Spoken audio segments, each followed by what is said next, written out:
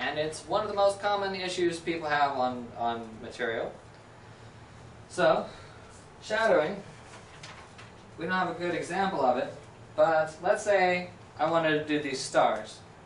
And if I have a shadowing, shadowing is the, uh, the bottom of this.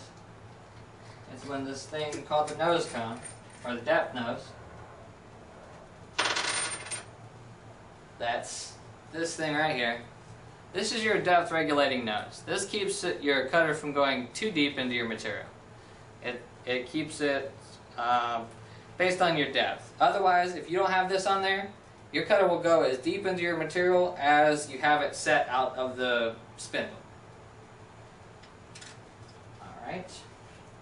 So, the shadowing portion, what, what happens in shadowing is this little bottom of this, this little bottom of this metal piece right here, will, will basically scratch your material because it's going like that.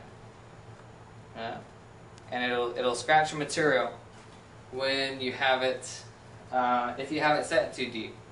If you have it set too deep, if you don't have your depth set correctly, uh, it'll, it'll cause that. So, one of the cures is bring your depth up, just to set the depth very precisely as, as Thomas has shown.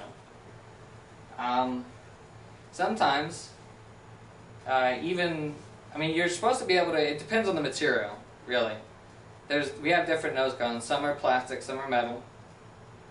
And the plastic ones are for the softer materials, anything that the metal one might scratch.